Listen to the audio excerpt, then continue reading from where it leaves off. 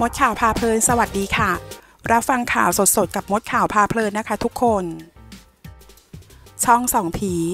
เตรียมกราบขอขมาย่าโม และย่าบุญเหลือวันที่ 19 กรกฎาคมนี้ เผยประชาชน และนักท่องเที่ยวหลังไหลเข้าวัดสาราลอย กราบสถูป อัฐิเท้าสุรนารี เนืองแน่นค่ะ วันที่ 12 กรกฎาคมนะคะ ผู้สื่อข่าวรายงานว่าที่วัดสาราลอยอำเภอเมืองจังหวัดนครราชสีมา มีประชาชนและก็นักท่องเที่ยวนะคะ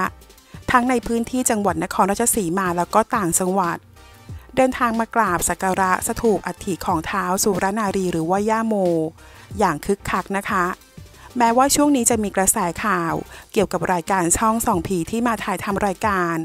ในวัดสาราลอย เมื่อช่วงต้นเดือนกุมภาพันธ์ที่ผ่านมา ที่มีพิธีกรชื่อดังก็คือ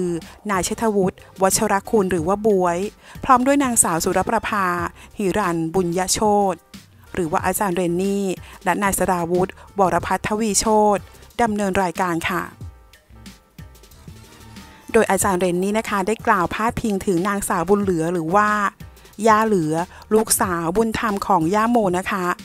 ว่าเป็นภรรยาคนที่สองของพระยาประหลัดทองคำสามีของย่าโมค่ะ ซึ่งกลายเป็นกระแสวิพากษ์วิจารณ์ถึงความไม่เหมาะสม และทำให้ชาวโคราชนั้นรู้สึกโกรธแค้นเป็นอย่างมากค่ะ ที่ได้กล่าวลบหลู่ครอบครัวย่าโมในทางที่เสียหาย แต่ประชาชนก็ยังให้ความเคารพศรัทธา และเดินทางมากราบไหว้สถูปอัฐิย่าโม รวมทางรูปจำลองพระยา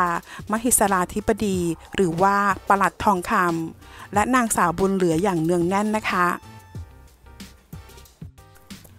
นางสายทองใจเที่ยงอายุ 57 ปี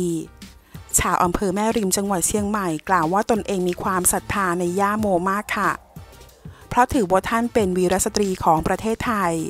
และนับถือพระยาประหลัดทองคำ รวมทั้งนางสาวบุญเหลือที่เป็นครอบครัวของย่าโมด้วย ทุกครั้งที่เดินทางผ่านมาจังหวัดนครราชสีมา ก็จะมากราบไหว้สถูปอัฐิย่าโมที่วัดสาราลอยเป็นประจำค่ะ นางสายทองกล่าวต่อนะคะว่า ตนไม่เชื่อว่านางสาวบุญเหลือจะเป็นภรรยาคนที่สองของพระยาประหลัดทองคำตามที่รายการช่องสองผีกล่าวอ้างแต่อย่างใดนะคะส่วนทางผู้ดำเนินรายการที่กล่าวลบหลู่จะมาขอขมาหรือไม่นั้น ก็อยากให้เป็นไป อย่างที่ชาวโคราชอยากจะให้ทำค่ะ ด้านนางวาทินีเซมมิก อายุ 46 ปี ชาวอำเภอเมืองจังหวัดนครราชสีมา กล่าวว่าตนเองในฐานะเป็นชาวโคราช ลูกหลานย่าโมรู้สึกไม่เห็นด้วยอย่างยิ่งที่ผู้ดำเนินรายการ จะมากล่าวลบหลู่ครอบครัวของย่าโมนะคะซึ่งเป็นสิ่งศักดิ์สิทธิ์คู่บ้านคู่เมืองที่เคารพศรัทธาของชาวโคราช ทุกคนค่ะ การกระทำเช่นนี้เป็นสิ่งที่ไม่สมควรนะคะ ไม่รู้จักกาลเทศะ สร้างความเข้าใจผิดให้กับคนที่ได้ดูรายการอีกด้วยค่ะ และการออกมาขอโทษผ่านสื่อยังไม่เพียงพอ แต่คนโคราชทุกคนอยากให้ผู้ดำเนินรายการแล้วก็ผู้ที่เกี่ยวข้องกับรายการ ได้มาขอขมาย่าโมที่วัดสาราลอย และที่ลานอนุสาวรีย์เท้าสุรนารีเลยค่ะ เพื่อให้ท่านได้รับรู้ และให้ชาวโคราชได้รับรู้อย่างทั่วถึงนางวาทินีได้กล่าวค่ะ ขณะที่นายวิเชียนจันทรโนไทย ผู้ว่าราชการจังหวัดนครราชสีมาเปิดเผย ได้รับการประสานงานมาจากผู้ดำเนินรายการช่องสองผีแล้ว ว่าจะเดินทางมาทำพิธีขอขมาย่าโมที่วัดสาราลอย และที่ลานอนุสาวรีย์เท้าสุรนารีในวันที่ 19 กรกฎาคมนี้นะคะ แต่ยังไม่ระบุเวลาที่แน่ชัด ซึ่งจะได้ประสานกับทางวัดแล้วก็ทางจังหวัดในเรื่องเวลาการทำพิธีขอขมาอีกครั้งค่ะ ขอขอบคุณข้อมูลจากข่าวสดค่ะ ถ้าเพื่อนๆชอบคลิปนี้ฝากกดไลค์และกดกระดิ่งติดตามได้